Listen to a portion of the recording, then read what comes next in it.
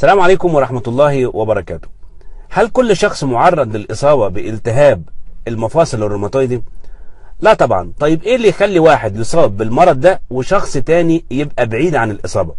يعني إيه العوامل والأسباب اللي بتخلي الناس أكثر عرضة للإصابة بالتهاب المفاصل الروماتويدي؟ ده اللي هنتعرف عليه في الفيديو ده. التهاب المفاصل الروماتويدي ده مشكلة بتحدث في جهاز المناعة اللي بيبدأ يهاجم الغشاء المبطن للمفاصل من الداخل والغشاء ده بيسموه الغشاء السينوبي أو الغشاء الزلالي اللي مبطن المفاصل من الداخل. المشكلة بتبدأ لما كرات الدم البيضاء اللي هي المفروض تهاجم الفيروسات والميكروبات والأجسام الغريبة اللي بتدخل الجسم تبدأ تهاجم الغشاء اللي مبطن المفاصل من الداخل وده بيسبب إطلاق بعض البروتينات بروتينات بتتفرز في خلال أشهر أو سنوات بتعمل على زيادة سمك الغشاء المبطن للمفاصل والبروتينات دي ممكن برضو تعمل أضرار للأربطة والغضاريف والعظم القريب من المفصل وده ممكن يسبب زيادة في سمك الغشاء المبطن يخليه سميك أسمك من الأول وبيدمر العظام والغضاريف داخل المفصل. التهاب الغشاء الزلالي ده بيعمل على زيادة السائل جوه المفصل وده بيسبب تورم المفصل والتورم ده مع الالتهاب بتسبب تمدد الأوتار والأربطة اللي بتربط المفاصل ببعضها فيبدأ المفصل يفقد شكله وثباته ووظيفته ويتشوه ويتعطل تماما ويصبح عاجز عن أداء أي وظيفة المفروض أو الطبيعي يقوم بيها. بالنسبة لأسباب التهاب المفاصل الروماتويدي حتى الآن مفيش سبب معين أو مفيش سبب واضح نقدر نقول إنه هو السبب في الموضوع ده. لكن في دراسات بتقول إن التغيرات الجينية اللي هو العوامل الوراثية وراء حدوث المرض ده مع إن الجينات نفسها ملهاش أي سبب في التهاب المفاصل الروماتويدي لكن بتخلي الشخص أكثر عرضة للعوامل اللي هنتكلم عليها اللي هي العوامل البيئية أو العوامل الخطر اللي ممكن تسبب المشكلة دي.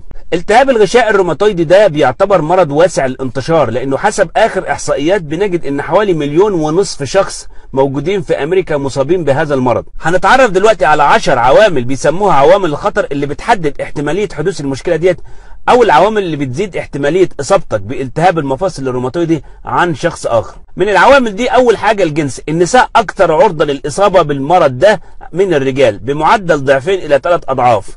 العمر المشكلة دي بتحدث دايما ما بين عمر 40 إلى 60 سنة لكن وجدوا إن هي ممكن تحدث بأي عمر. التاريخ العائلي وجدوا إن خطر الإصابة بالتهاب المفاصل الروماتويدي بيزيد لما يكون في حد في العيلة عنده المشكلة دي وخصوصا الأقارب من النوع الإيه؟ من النوع الأول أو من الدرجة الأولى زي الأب والأم والإخوات لأن الاحتمالية بتزيد بنسبة أربع مرات عن الطبيعي.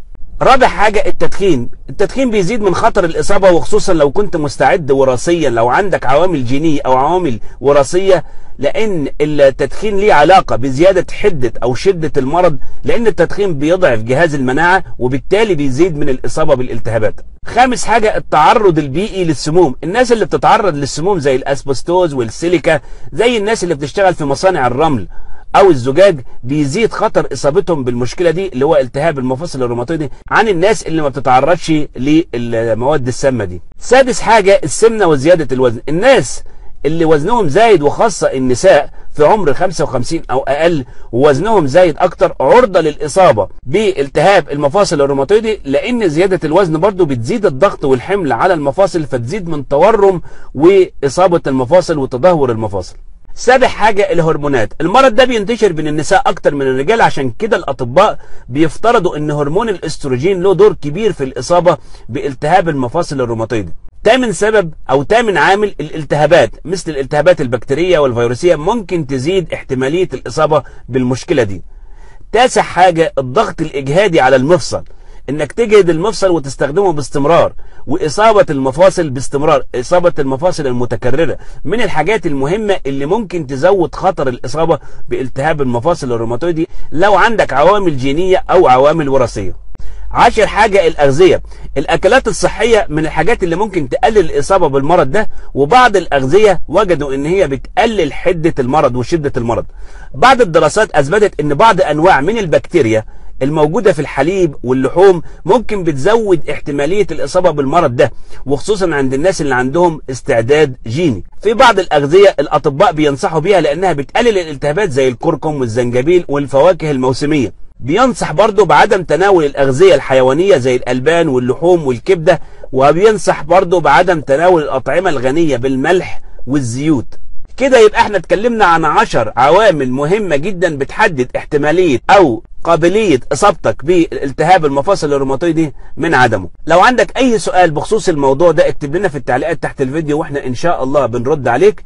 لو عندك أي اقتراح لأي موضوع تاني ممكن نعمل له فيديو. برضه اكتب لنا في التعليقات تحت الفيديو. ويا ريت لو الفيديو عجبك تعمل له like و share وتشاركه مع أصدقائك. ويا ريت لو انت جديد في القناة اشترك في القناة وفعل جرس التنبيهات علشان يجي لك كل تنبيه بكل فيديو جديد بنقدمه إن شاء الله.